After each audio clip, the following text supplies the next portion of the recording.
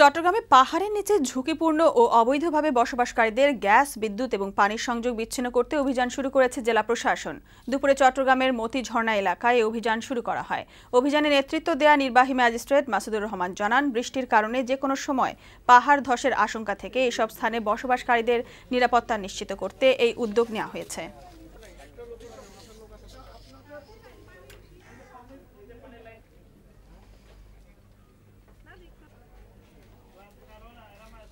out.